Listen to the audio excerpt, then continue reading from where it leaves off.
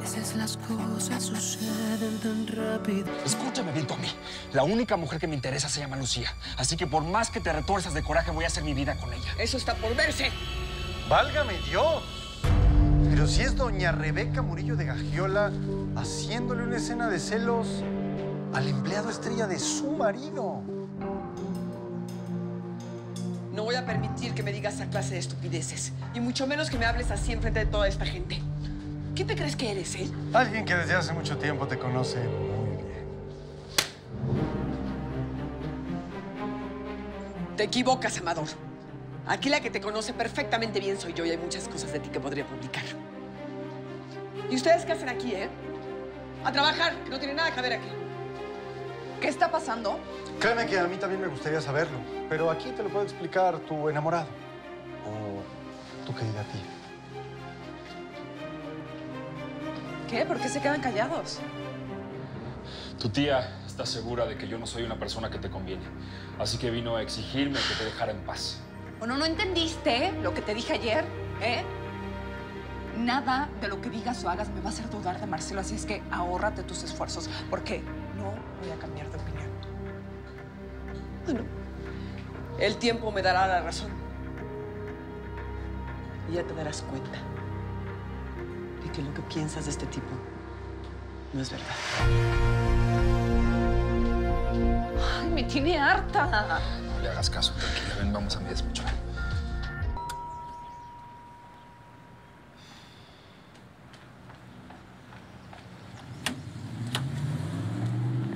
¿A dónde va, señorita? ¿Qué te importa?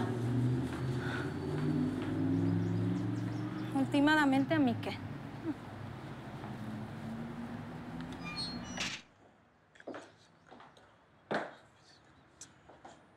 ¿Qué haces? Nora, ¿qué es esto aquí? Como ya se te hizo costumbre no contestarme el teléfono, no tuve más remedio que venir a buscarte. Ya deberías de tener muy claro que tú y yo no tenemos nada de qué hablar y que mientras más lejos estemos el uno del otro, es mejor. Al contrario. Yo creo que ya es hora de que tú y yo reanudemos nuestra amistad. Es más, creo que nos conviene mucho hacerlo. Estás loca, Nora, estás loca. A ver, no sé si ya sabes que Lucía y Marcelo están juntos. Eso es algo que ni tú ni yo podemos permitir. Bueno, si tanto te interesa ese tipo, ¿por qué no te metes a la cama con él? Como lo hiciste conmigo. No creo que necesites ayuda de nadie para destruirle la vida a tu hermana otra vez. Ella me ha destruido la vida a mí, no al contrario. Y para que sepas, yo me fijé en Marcelo primero, no ella. Y por supuesto te revienta el hígado que él ni te haya volteado a ver y que la prefiera a ella.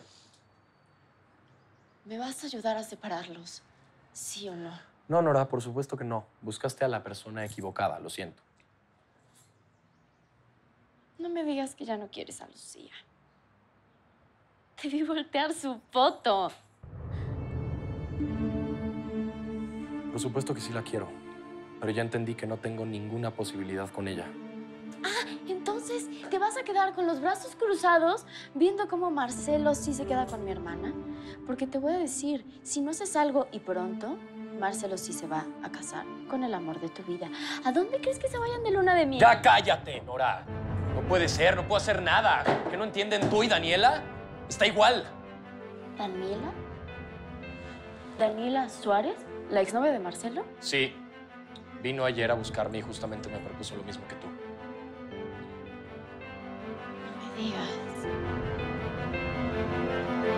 ¡Hoy!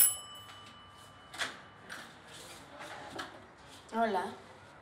¿Te acuerdas de mí? Por supuesto que me acuerdo. Pásale.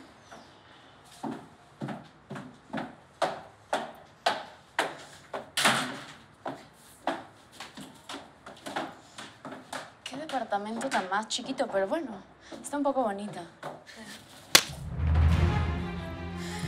Debías. Bueno. Ya estamos a mano, ¿no? Ahora quiero que hablemos como amigas. ¿Cómo qué? Como dos mujeres civilizadas que tienen algo que las une. ¿Estás segura de lo que estás diciendo? Por supuesto. ¿Me parece que por mutua conveniencia ya es hora de que tú y yo empecemos una amistad. Estás verdaderamente loca. ¿Cómo por qué me podría interesar ser tu amiga, eh? Ya te lo dije.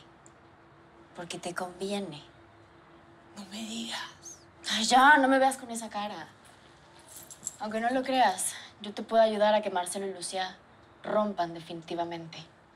Porque sí sabes que están juntos. Sí, ¿verdad? sí sé, sí sé, pero no estoy estúpida. Lo que tú quieres es quitar a tu hermanita del camino para que seas tú la que se quede con Marcelo. Tranquilízate. Te aseguro que no soy una amenaza para ti. Tu exnovio ni siquiera me pela. Ah, Digamos que no me tienen muy buen concepto. ¿Y por qué te interesa tanto que mande al diablo a tu hermana? Porque no creo que sea solamente para echarme la mano. Prefiero que esté contigo a que esté con Lucía. ¿Por qué odias tanto a tu hermana, eh? Eso es algo privado. En fin, piensa en lo que platicamos. Te dejo mi celular para que te comuniques conmigo.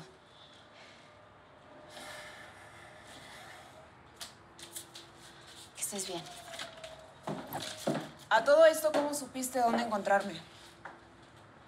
Me lo dijo un amigo que tenemos en común.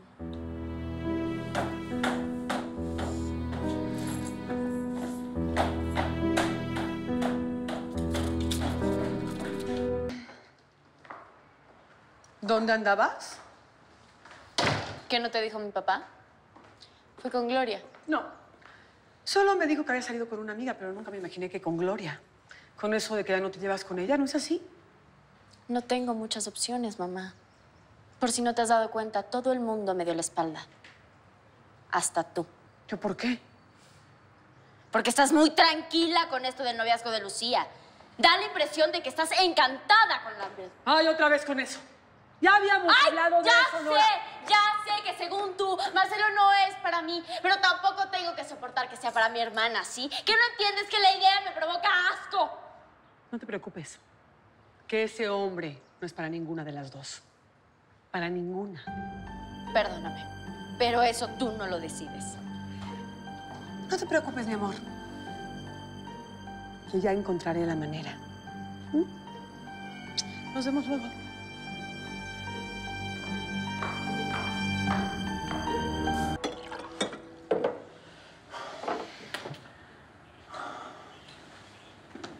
Ah, perdón que haya llegado hasta ahorita, pero después del Ministerio Público pasé a ver a mi padrino. ¿Qué tienes? ¿Qué tienes, pa? Pásame las pastillas, por favor. ¿Qué tienes, pa? Por el amor de Dios, dime qué te pasa. Me está costando respirar. Pa, por favor, otra vez no. Pa.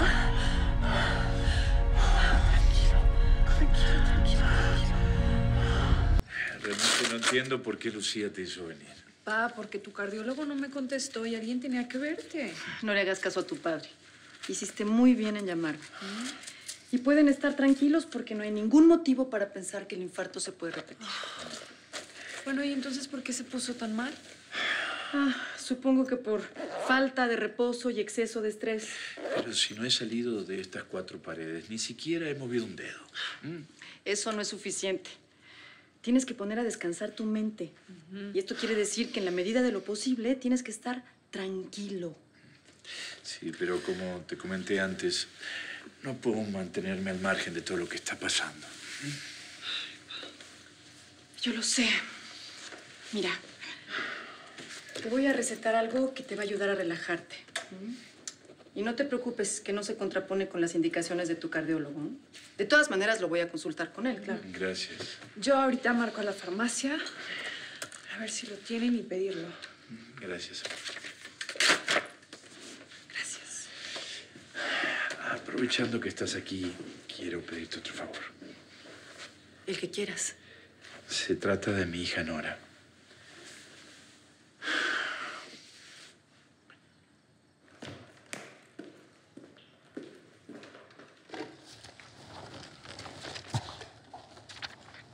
Oye, ¿tú sabes el número de la farmacia?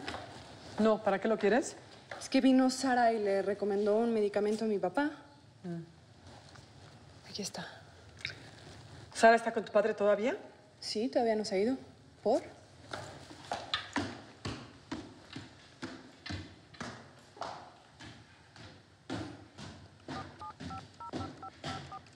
No te preocupes, yo te consigo ese dato. Gracias. Y de nuevo te pido una disculpa por todas las molestias que te he causado. Creo que he abusado como amigo.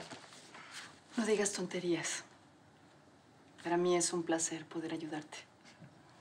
Y por favor, lo que necesites, no dudes en llamarme. ¿eh? Sí, y de nuevo muchas gracias. ¿eh? Ay, pero qué escena tan romántica. ¿Por qué no te descaras de una vez y me dices qué es lo que quieres? ¿Robarme a mi marido? Rebeca, no digas estupideces. No, no son estupideces. ¿Qué no te das cuenta? Esta mujer está loca por ti.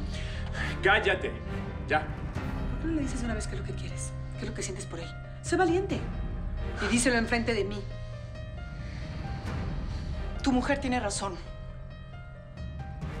Tú eres el hombre con el que me hubiera encantado hacer mi vida.